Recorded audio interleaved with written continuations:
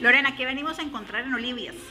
En Olivias pueden encontrar gran variedad de cosas. Primero, un lugar muy acogedor, donde pueden estar con su familia, donde pueden estar con mascotas. Pueden encontrar crepas, artesanal, diferente a toda la que han probado, cafés fríos, deliciosos.